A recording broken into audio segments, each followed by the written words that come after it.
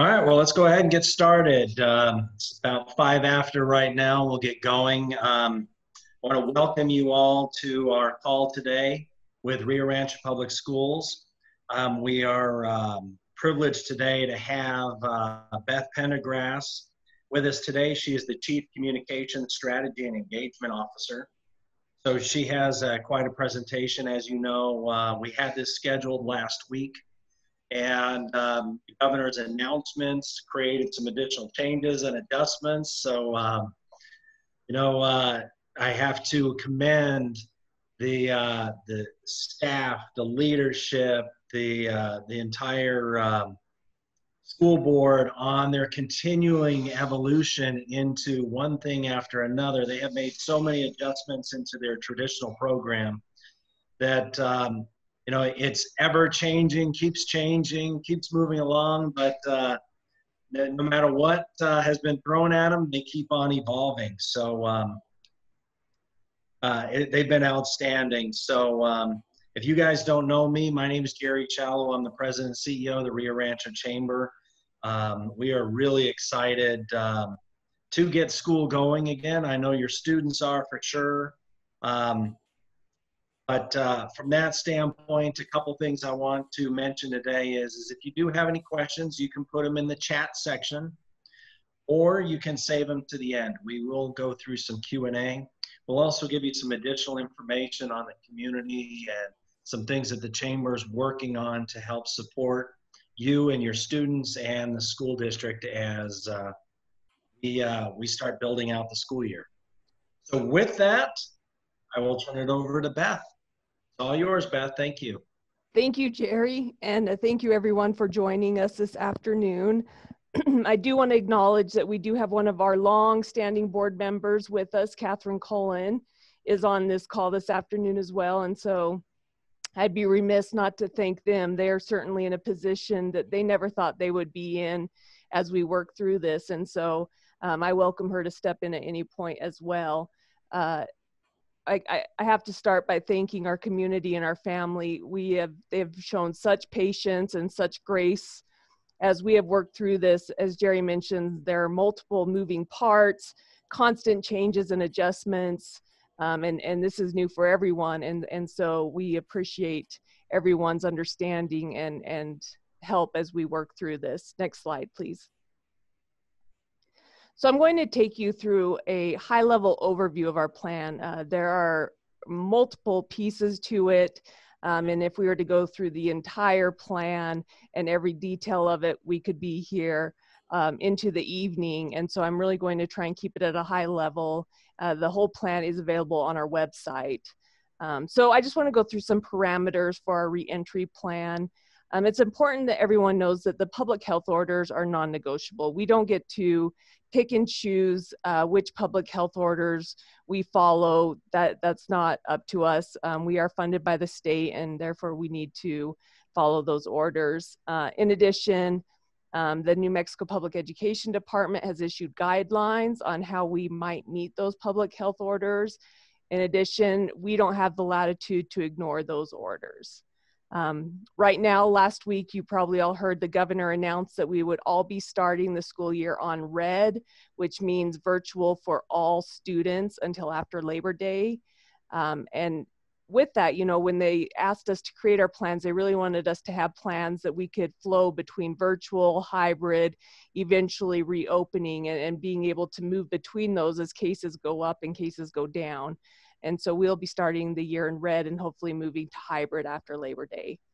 Um, and then all districts must have COVID 19 care, surveillance, tracing, and reporting procedures in place. That is 100% new to us. That is not something we've done. And so that's added uh, confusion to everything as well. But we're working on it. Next slide, please. So I'm going to take you through some of the, the pieces of the plan. And we're going to kind of start with our teaching and learning. Um, this really kind of goes through which instructional models we're going to be using. Next slide, please. So the start of school, all students are going to be starting virtually in August, August 7th for middle and high school students and August 11th for elementary students. Uh, students on the hybrid model will begin attending school after Labor Day.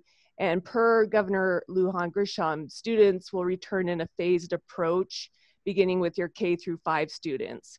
So on September uh, 8th, our K through th three students will start. And then also our group A students, and we'll get to this later. And then September 10th for our group B students.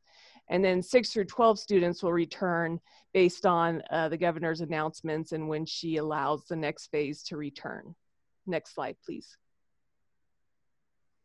So the options, uh, option one, we, we gave parents the option to select between a hybrid option and a fully virtual option. And so the hybrid option, K3 students attend school Monday, Tuesday, Thursdays, and Friday. 4th through 12 students are divided into two groups, Group A and Group B. Most likely these groups will be divided uh, alphabetically, but we would allow families with different last names to attend on the same schedule. Um, and, and there may be some adjustments to balance out numbers, and we'll look at probably single students in order to do that. Uh, group A students would attend school on Monday and Tuesday and would be virtual for the remainder of the week. Group B students would be virtual beginning the week and then would attend school in person on Thursdays and Fridays.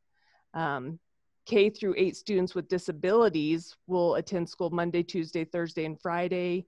And the nine through 12 students will be on similar to the hybrid model. And that's just based on the size of our high schools and being able to keep those social distancing guidelines. Um, and then Wednesdays, all buildings, no one will be allowed in the buildings. They're going to be deep cleaned on Wednesdays. Next slide, please. The second option was the 100% virtual option. Uh, so this allows students to go online 100%. Um, and families who have opted for this option, we ask that they uh, commit to it for a full trimester or full semester. Um, we have to be able to staff both these options. And so we need to know our numbers and be able to get the right amount of teachers in those classes. And so we just can't adjust those numbers as the school year goes on. Uh, elementary students will use the same district adopted instructional materials as our hybrid model.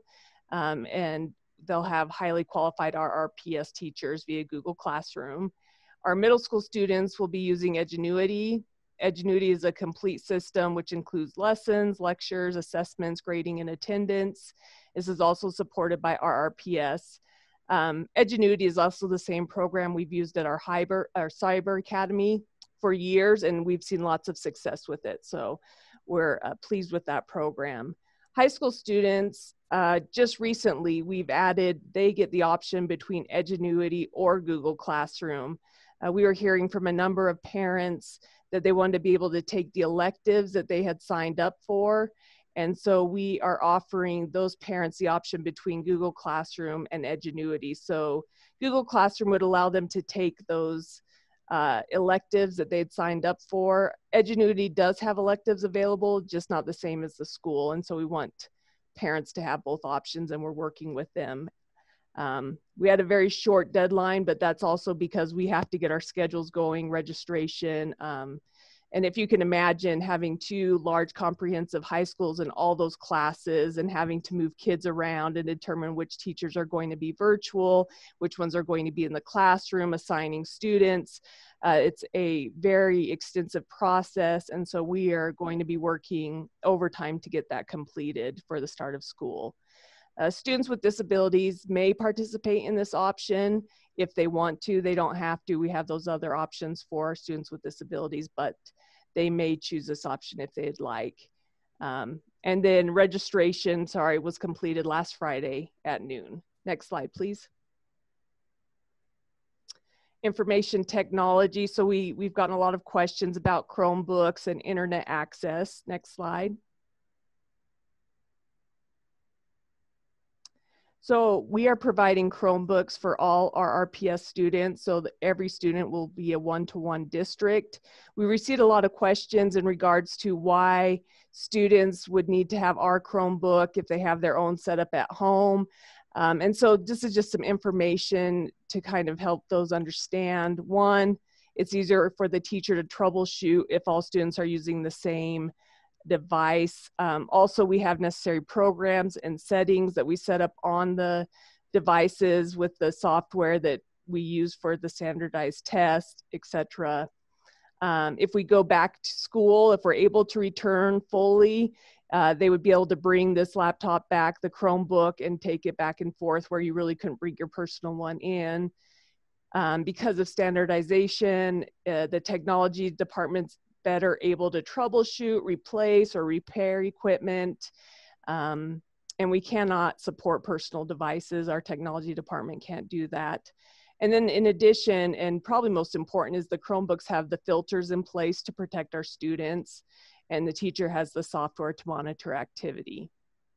Um, also, we'll be setting up distribution days for Chromebooks for families. So each school will have three different days that they've set up where we'll be distributing those Chromebooks before the start of school.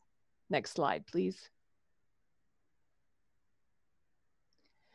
Uh, connectivity, so internet services, there are some families that do not have access to internet. Um, thanks, I think I saw Jane on this call. I wanna thank Jane. She has been an excellent partner for us to work with at Sparklight. Uh, she is working with us to provide connectivity to a lot of families in the Rio Rancho area that don't have it. And then in those areas where Sparklight uh, may not have connectivity, then we've been using T-Mobile to provide hotspots.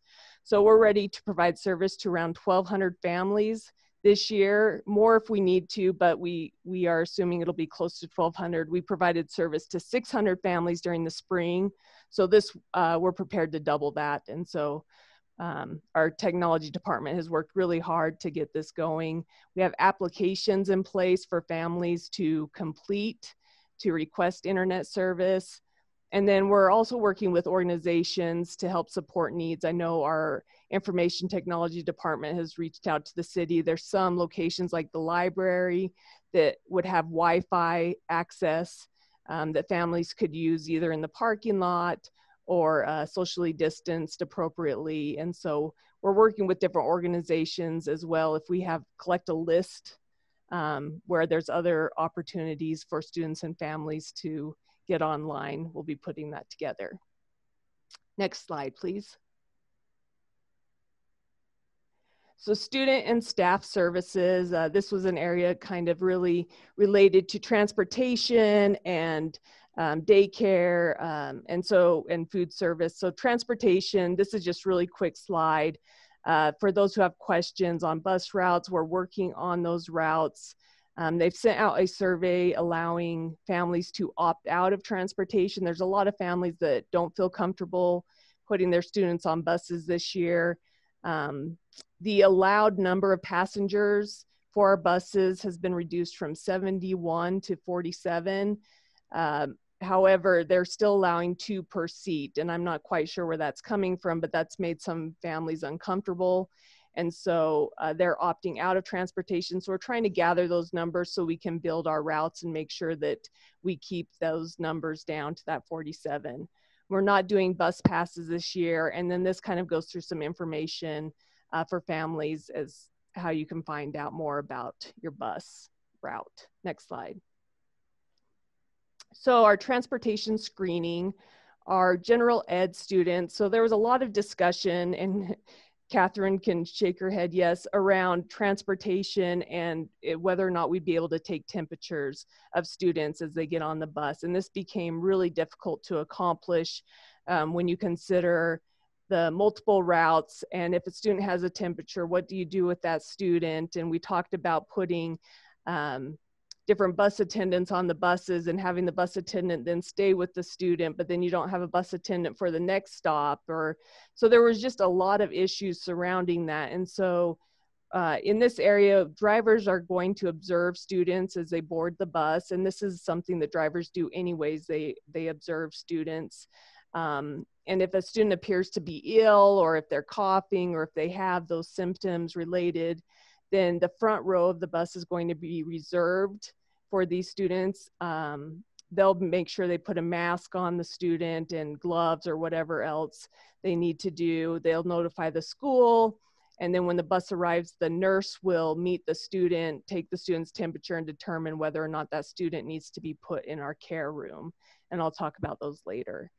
Uh, students with disabilities, we have separate buses and we do have bus attendants on our buses with students with disabilities. These students are higher risk and so we will be taking the temperatures of these students as they board the bus. Um, the bus attendants will wear face masks and face shields to protect themselves. If a student does have a temperature, uh, we will have them remain at home or with the care provider. Generally, the uh, students with disabilities buses, they don't have separate stops. They actually go to each house, and so they would be at the house. Uh, next slide, please. Other safety measures, um, they'll be, all drivers and students will be required to wear masks on the bus and students will sanitize their hands when boarding the bus. Each bus will be disinfected between tiers and deep cleaned on Wednesdays. Windows and roof hatches will be open to maintain proper ventilation and then we'll maintain the proper social distancing and COVID safety practices at the bus depot. So even before our drivers are on the bus, they're not gathering, they're keeping their distance, they're um, wearing their masks and uh, having their temperatures checked as well. Next slide, please.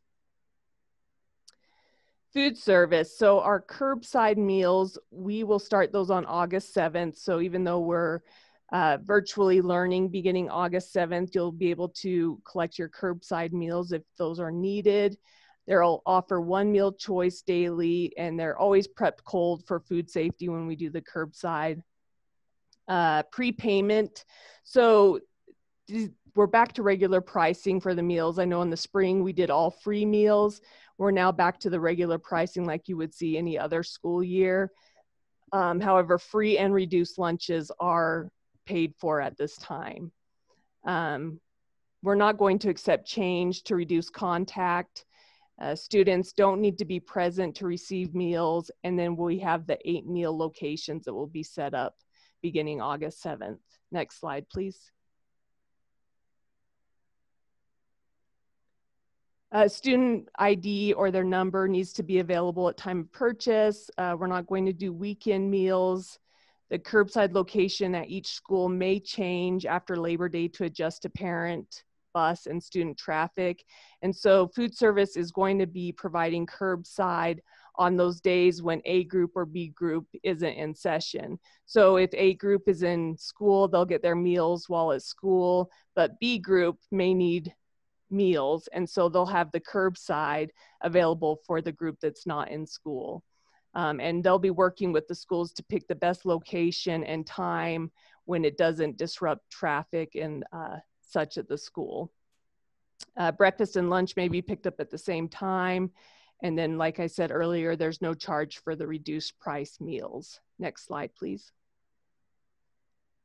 The cafeteria traffic flow, meal service. So our, you know, we'll have separate entrance and exit doors, the appropriate uh, signage, social distancing floor stickers and wall mounts to help guide students, the sneeze guards in place wherever possible, um, face masks and face shields except when eating, uh, the applications are available online so that we're not collecting the paper applications. Again, the prepayments are encouraged. Uh, we're not going to give change. And then check and money orders are accepted. You can create an online account for parents. And then we're not going to do any a la carte items other than milk. Uh, next slide, please. So this kind of gives you an example. Our current seating, students are generally facing each other. They're on the table there to the left.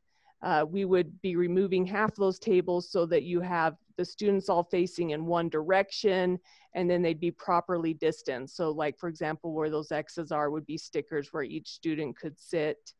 Um, and then at multiple locations, they can open up the cafeteria to the gym area and spread out even further to ensure that we're properly distancing. Next slide, please.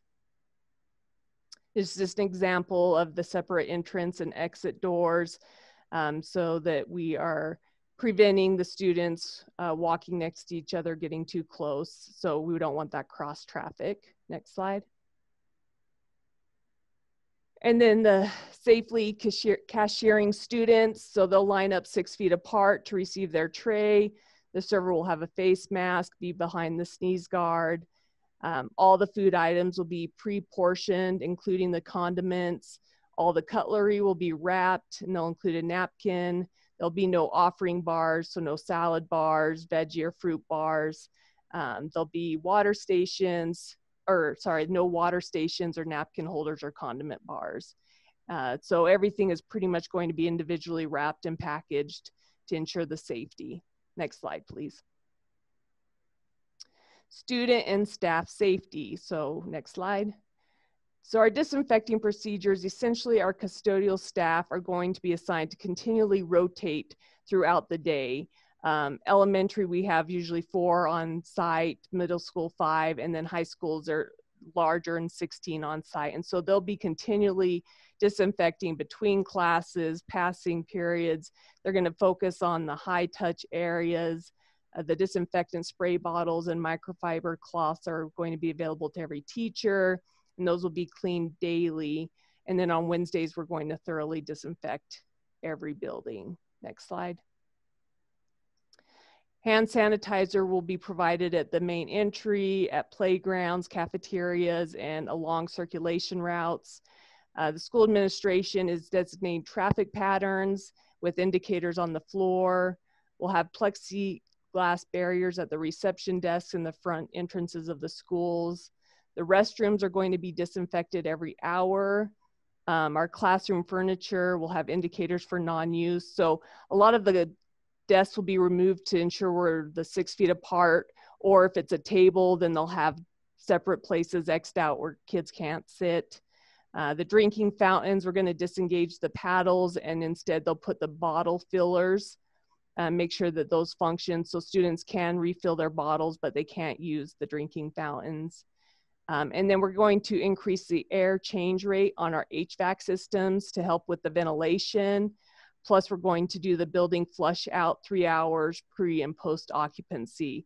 So this ensures that we have the fresh air circulating through the building and helping improve that uh, ventilation. Next slide, please. Screening prior to students leaving home. So we know uh, in the past, um, students have temperatures, parents send them to school, you know, they're, they're gonna be okay. We're going to ask that parents really monitor that this year. You know, if your student has a temperature or a cough, shortness of breath, or any of those COVID symptoms, if they've been around someone who's had COVID or if they've traveled outside the state or country, uh, please, please, please keep your students home. Um, this is going to be important for the safety of all students. Uh, and also because if they come to school and they have that temperature, we're still going to have to place them in the care room. Um, and so it's just important that everyone's working together on this and we really need our parents' support on this. Next slide, please. So at school screening, uh, we do have, we'll have signs posted at entry points advising students of the known symptoms, in addition to the requirements for entry into the building. Um, if an older student has any of the symptoms, they'll be asked to go to the nurse and they'll report to the care room. In the elementary schools, staff will attempt to observe students to see if they're displaying any symptoms. Um, and they would send the student to the nurse if they saw any symptoms and that student could be placed in the care room. All employees and students will receive daily temperature checks upon arrival at school. So we've purchased some Go Safe tablets to place at every entrance. These are no touch. So a staff member doesn't need to um, get close to another staff member or student to take their temperature. The tablet takes the temperature and we're able to monitor that and, and see what that is. Um, if they have a temperature over 100, they'll be uh, taken to the care room. Next slide, please. All staff and students will be required to wear face masks and or shields. So it's up to our staff if they want to wear a mask or if they want to wear a shield or if they want to wear both.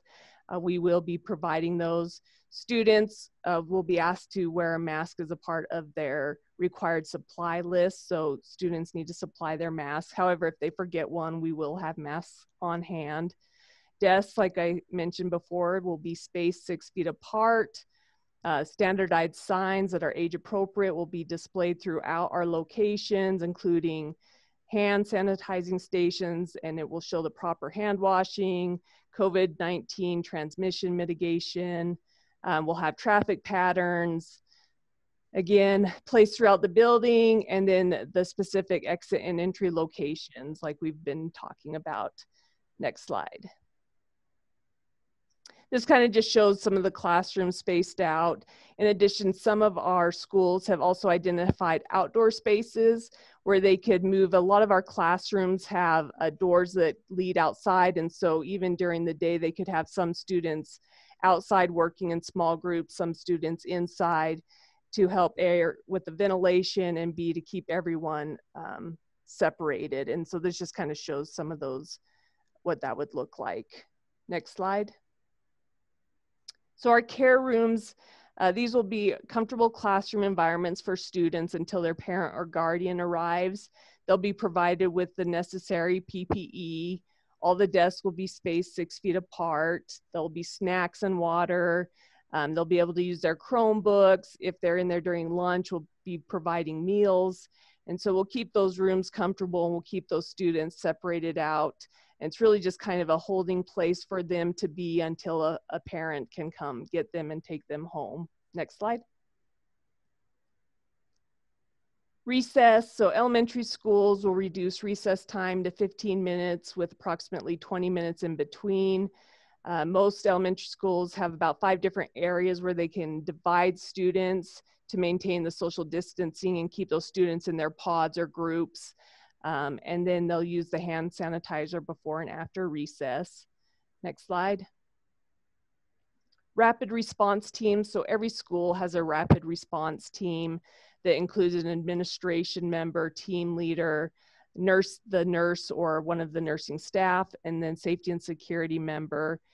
Um, and these, the, these teams will be put there and they'll be contacted if they need assistance anywhere in the building, if there's someone who needs to be taken to the care room.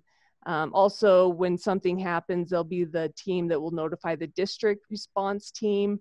Um, so, for example, if we find out a student has been infected with COVID 19 or a staff member, then they're working with us to immediately start reviewing surveillance footage, contacting the Department of Health to activate their contact tracing efforts. Um, and a lot of people have asked, you know, what is your process for when a student or staff member uh, is diagnosed with COVID or we learn of that? That is really um, a process that we would do with the Department of Health. Once we become aware of that, we would contact them immediately and essentially they would walk us through those steps and uh, talking about where they were in the building, if a certain portion of the building needs to be shut down, if the whole building needs to be shut down or whatever that is, we would work with the Department of Health on that. And so uh, that's not our area of expertise, so we would listen to what they had to say. Next slide. Communication, um, of course, we're trying to communicate however we can to keep families, community members um, in the loop. We've had parent university classes, uh, what teaching and learning will look like, what 100% virtual will look like, COVID safety practices. These are uh, former classes we had, but they're still available on our website. You can watch them, they were filmed. And so feel free to pull those up. We have three that are upcoming tonight. We have transportation and food service. Tomorrow night, we are going to talk about homeschooling. We've received a lot of questions from the community um, and parents about, you know, I, I'm considering homeschooling. What do you think about that? And so this will kind of give parents an opportunity to see the difference between homeschooling and, and RRPS virtual learning and what some of those are um, and help them maybe provide them with information they need to make a decision. Of course, we want people to stay in the district and we feel like we have a good plan to meet the needs of our students, um, but we recognize that it's not our decision. This is a parent's decision. And so we'd just like to provide them with information. And then Thursday night, we are going to present our special services plan and or special education. Uh, and so there's a lot of questions from families in that area as well. We have a reentry website um, with loads of information on it, an FAQ, um, and we're continually updating the information on that website. And so please feel free to visit the website. Also, if you haven't signed up for our community e-newsletter that's really focused on our reentry, I invite you to do that. You can do that via the reentry website. Um, and you can go online sign up. And then all of our social media uh, outlets, we've been continually putting information on those. So we are doing our best to keep our public informed, uh, even as things continually change and update. Um, and there's so much information. And so, you know, we, we invite you to email us your questions. Um, we do have a separate email set up just for reentry plans, and that is RRPS reentry plans at rrps.net.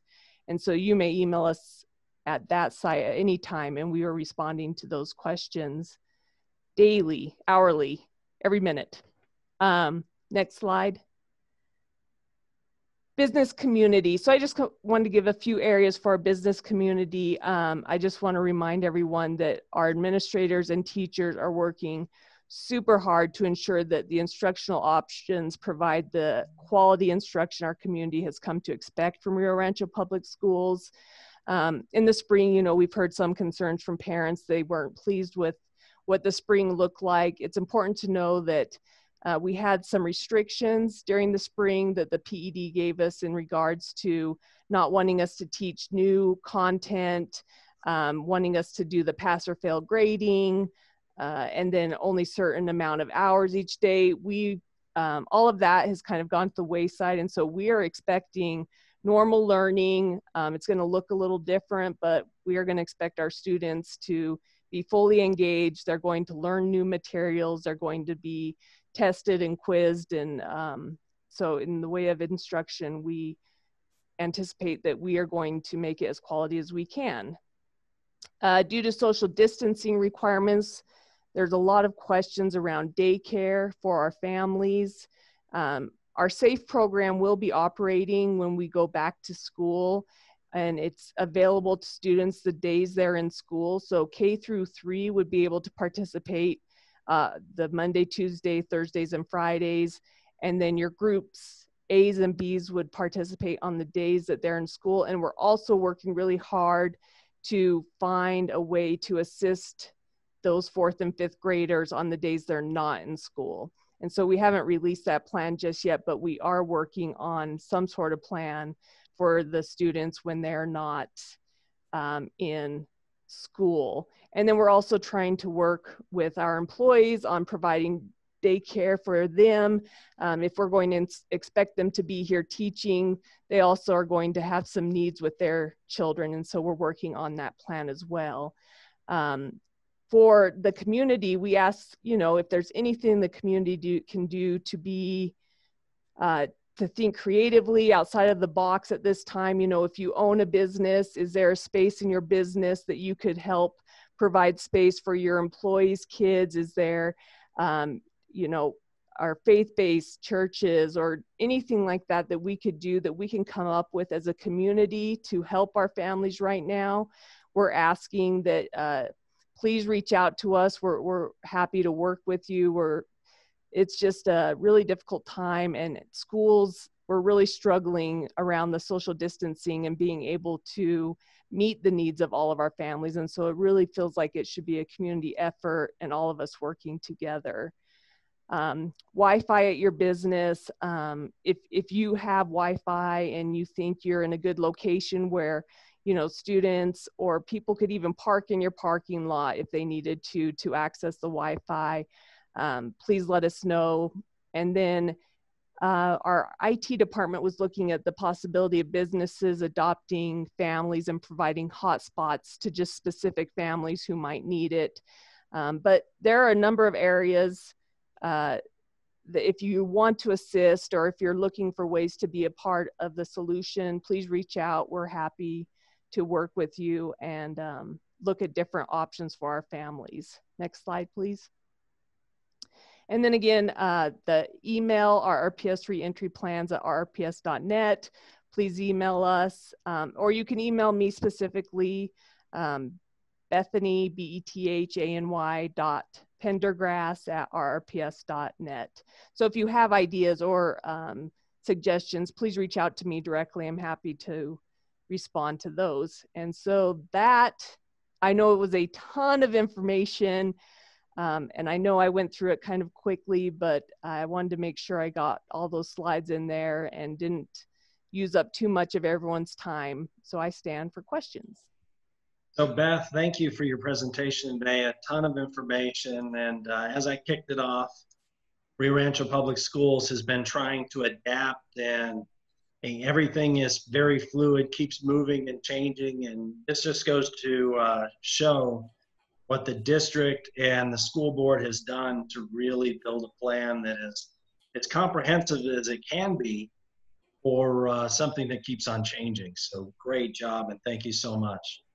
So I'm going to kick it off with a couple questions first, and then I'm going to, um, if someone has a question out there, please add it to the chat. Um, the uh, very first thing is, is NMAA, they moved sports back to, I think fall sports are now scheduled to kick off, I think November 4th through the governor's orders. Um, the, uh, so if it's safe to say then that if a student has, let's say they're in football or they're in basketball or they're in track, where normally at the high school level, that's their last period of the day, the last class of the day. Um, they're not going to be able to participate together until they're able to come into class together. Is that basically what's happening there as well? so the NMAA kind of has their own guidelines that are a little different from the school guidelines. Uh, we're continually getting updates from them. Um, right now, uh, you know, we went ahead and canceled all our summer activities and practices. Um, but as soon as that guidance comes out, we'll be sharing that. So. Yeah. Very good. And then another one that had come out uh, prior to this, if you can elaborate a little bit, is um, so those students that are they're taking their classes virtually they have to um, are the classes being recorded or are they live uh, so it depends edgenuity classes are more self-paced and self-directed and so uh, not necessarily live however there would be pieces with the rio rancho public schools teacher that would be live interaction. The Google Classroom for the high school will be a little different. We plan to kind of set those up like periods similar to the day. And so I imagine that each period there would be some live interaction with those teachers. So it depends on which option um, families choose.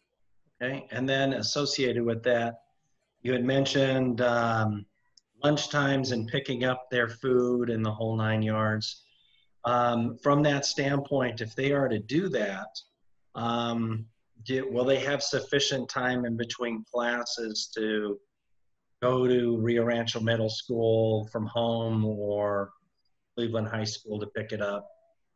Can you elaborate a little bit on that? So those the lunches are available for the students who aren't in school that day. So the ones in school will get them like a normal uh, school day, they'd go to the cafeteria and get their lunches and their breakfast and whatnot. The the pickup would be available for the group that's not in school. So if those families need meals for that day, they can pick them up. Sounds good. So I'd like to open it up to for questions for Beth. Do you have any immediate questions out there? please unmute yourself and welcome to ask a question.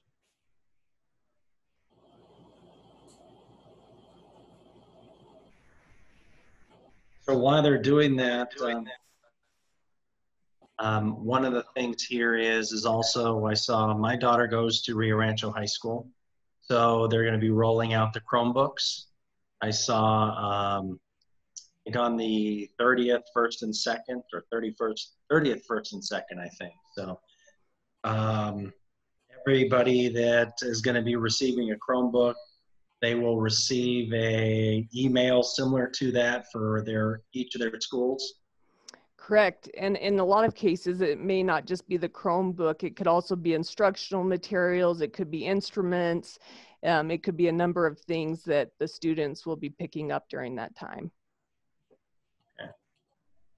Very good. And then registration wise, how are they going to register? We're still working on that. Okay. Sounds good. Yeah, that's ever changing. So uh, a little bit different this year. Right. But do we have any questions out there? I saw Catherine Cullen pop on there here a second ago. Yeah, actually, um, so when you had that question about um, picking up the lunches and having enough time, because I got to me thinking is because now we're going to be adding for high school virtual Google Classroom. So we probably, in the, since they're going to be setting it up as class periods, we'll need to make sure that that kind of aligns with them to pick up those lunches now since we're offering that as a new um, version just recently that we picked up. Absolutely. Very good. Okay. Any questions? There was a lot of people that were asking them before. So, um, matter of fact, here's a question here. Um, Rio Rancho Public Schools is purchasing protective cases to protect the Chromebooks while students are riding the buses. So, um, is the Chromebook protected? Is it, uh, or is it just the Chromebook itself? Unfortunately, uh, you know, that was one of the, we have very limited budget. And as Ms. Cullen can tell you, we are doing more with less and so that is one of those areas that we just were not able to um, add into the purchases this year or those covers for the Chromebooks. Okay.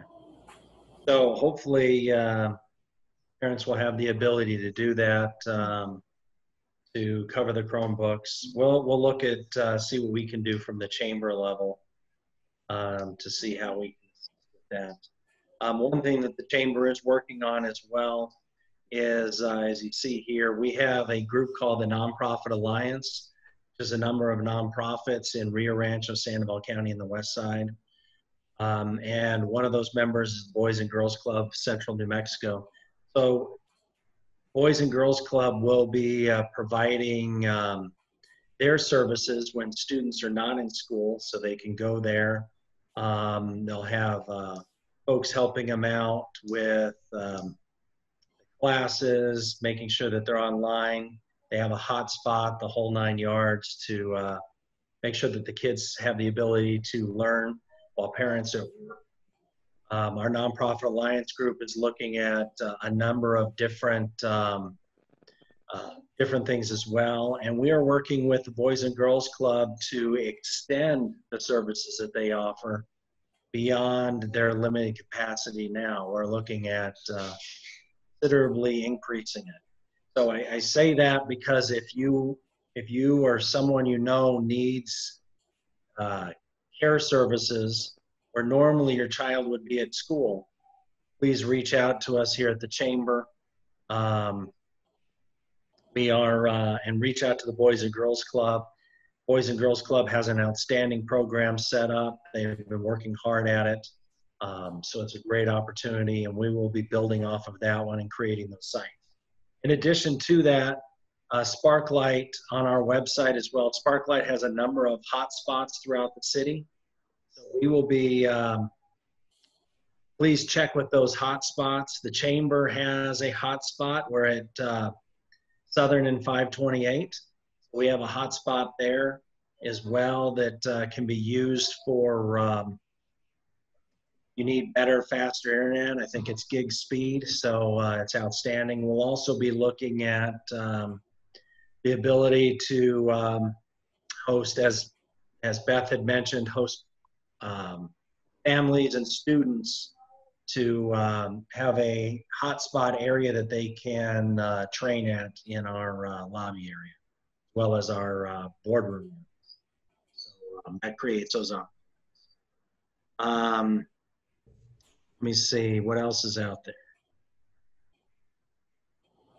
Is the school district thinking about installing Wi-Fi on buses? Also, are you working with the city libraries to help provide services and Wi-Fi? So currently, we're not looking at uh, Wi-Fi on buses, um, but the city library is definitely one of those areas that the IT department is working with on that. Yes.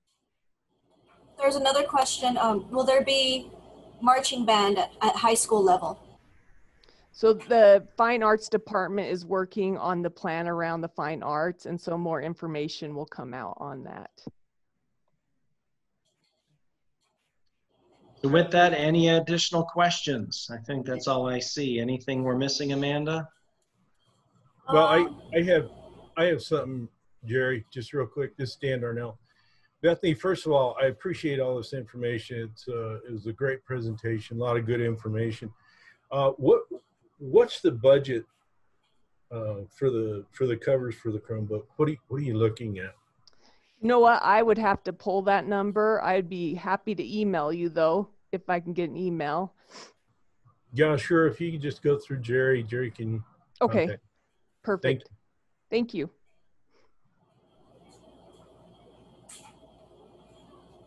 Questions out there? Uh, we had a couple comments.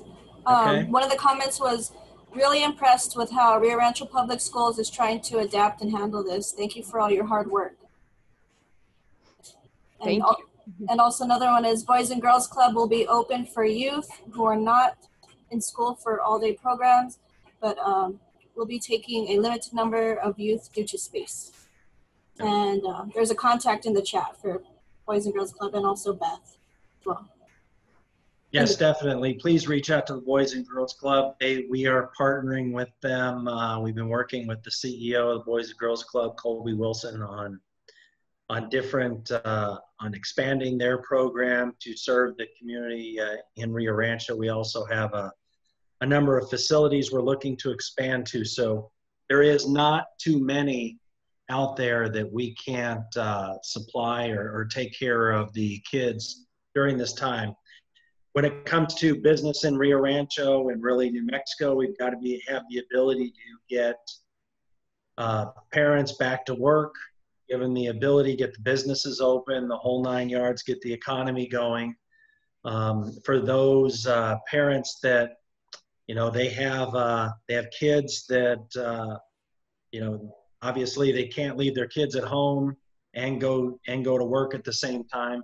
Want to let you know that the chamber's working on that, Boys and Girls Club and the Nonprofit Alliance. So please reach out to us. We want to uh, um, fulfill all the students we can. We are working on programs. It's a very minimal cost program.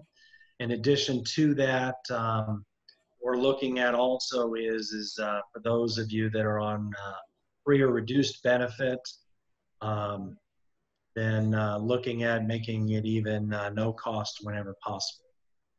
So, um, a couple things about this presentation today. This is uh, this presentation will be on our website, recorded as you're hearing it today. Um, and then any additional questions, um, you can, as I as Beth put on there, you can reach out to Beth. You can reach out to the chamber, and uh, we can go from there. So with that, um, I don't see any other questions right off the top. Amanda, do you see any more? Um, just another comment. Um, thank you so much. This was so informative. Thank you to Rio Rancho Public Schools for working so hard to find ways to make it all work. So thank you, Beth. Thank you. Thank you, everyone. And thank you, Catherine, Board Member Cullen. We appreciate your service. Sounds great. So I want to thank you guys for coming out again and uh, listening today. If anyone missed this presentation or you came in late or uh, you know someone that uh, would want to hear this presentation, it should be posted onto our website uh, at rrrcc.org, three R's, two C's.org uh, by tomorrow uh, morning. And uh, we'll have it all set to go. And uh, please use it, share it. We'll also have it posted on Facebook so that folks can see that it's on there as well for their information. As things continue to change, we'll also uh, gather that information from Beth and uh, the team at Rio Rancho Public Schools and add it to the site as well. Thank you all so much, Beth, Catherine, the entire Rio Rancho Public School team, and thank you to everyone for attending today. You all have a great day. Thank you.